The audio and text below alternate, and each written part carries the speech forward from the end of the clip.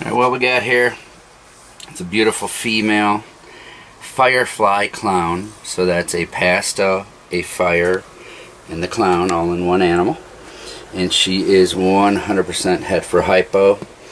Her father was a super firefly, which is a super pastel fire, 100% het clown, and her mother is a hypo pastel clown.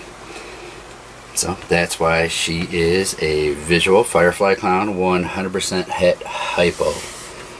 Great piece for combinations down the road, guys. And gals.